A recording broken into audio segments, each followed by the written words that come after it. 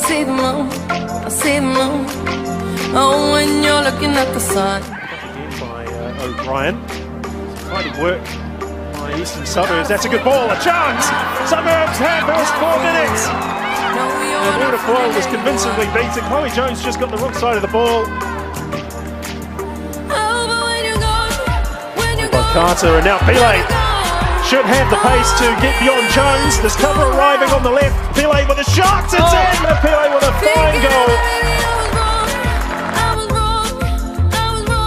Chance to uh, spring the counter attack. Pilley. It's Jones. Uses her pace. There's one in the penalty box.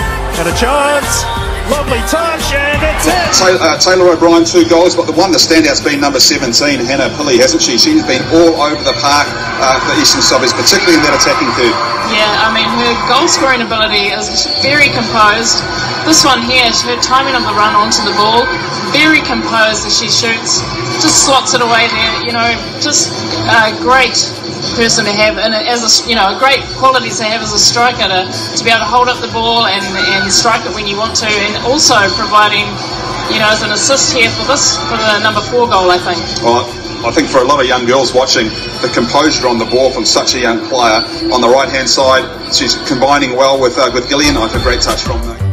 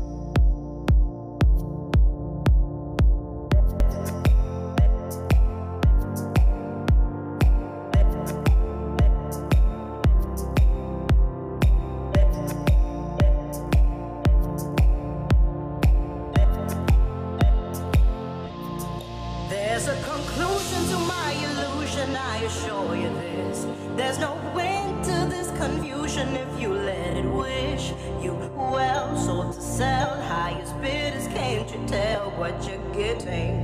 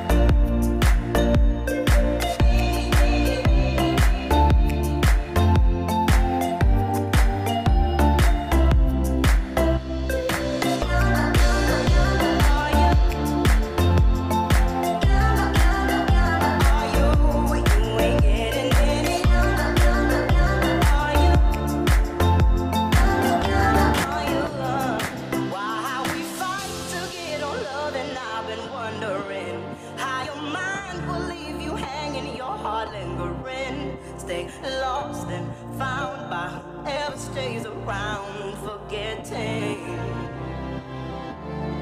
There is a